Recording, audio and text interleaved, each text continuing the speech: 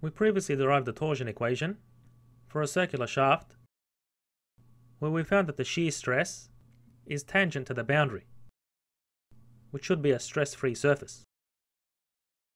So if we translated this solution to a non-circular shaft subjected to torsion, well as we can see, the stress vector being perpendicular to the radial vector, as with the case of the circular section, violates the condition of a stress-free surface. So we can see that when we resolve the stress into horizontal and vertical components, and we get a complementary shear stress acting on the free surface. So recall the displacements we derived in Cartesian coordinates for the circular shaft. So here we had our fibre AB rotating to fibre AB dash from which we obtain the displacements u and v. So guided by the solution for a circular shaft, Saint Venant extended the theory with a warping function. So the idea is that the section warps or develops a displacement in and out of the z direction, which is produced by a warping moment. So this would relieve the stress on the free surface, where it would again be zero. And this warping displacement in the z direction denoted W, depends on the rate of twist, and that's multiplied by some warping function, which we denote psi, which depends on x and y. So from the displacements, we can obtain the strains. So noting that this is an element that we cut out from the shaft to expose the internal stresses, we have the strain acting on the face with the normal pointing in the x direction, which is denoted by the first subscript, and the second subscript denotes the direction of the strain.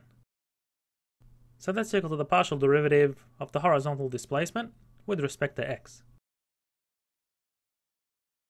So as we can see, u does not depend on x, so that's 0. And similarly, the axial strain in the y direction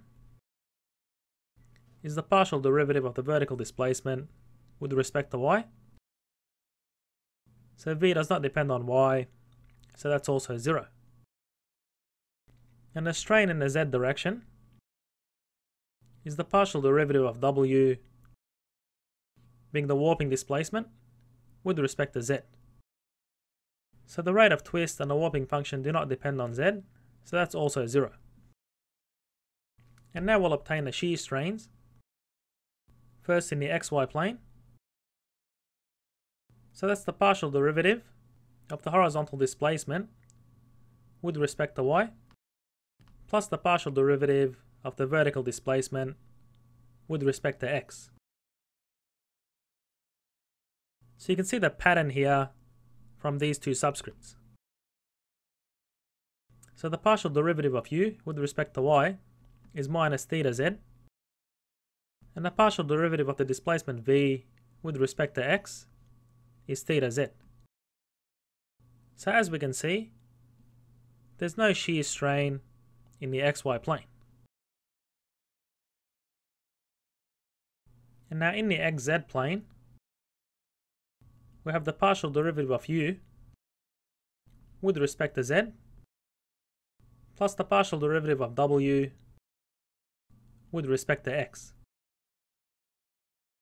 So as we can see, the u dz is minus theta y, and the w dx is plus theta by the partial derivative of the warping function with respect to x.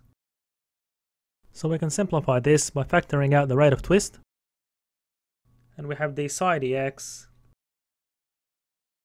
minus y.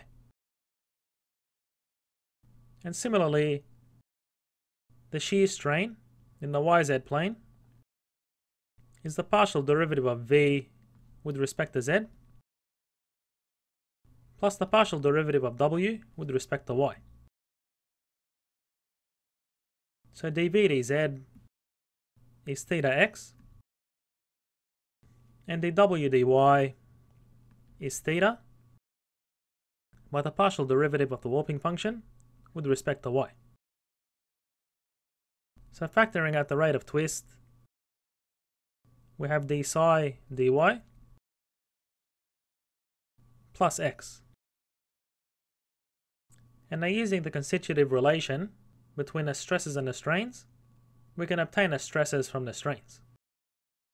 So assuming that we're dealing with a homogeneous isotropic material, so typically we'll be dealing with steel beams, so therefore the stress is related to the strain by the Young's modulus. So again the stress on the face with the normal in the x direction, acting in the x direction is zero. And similarly, the other axial stresses are also zero. And now the shear stress acting on the x face and pointing in the y direction is equal to the shear modulus by the shear strain. So in the xy plane, the shear stress is also zero. Now the shear stress in the xz plane is equal to the shear modulus by the shear strain in the xz plane, which is theta by the partial derivative of the warping function with respect to x minus y. And the shear stress yz is the shear modulus by the shear strain in the yz plane.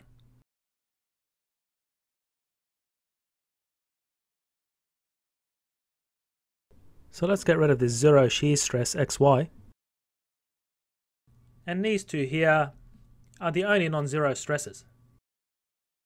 So what we have is the shear stress on the x-plane acting in the z direction and the shear stress on the y-plane acting in the z direction, being non-zero.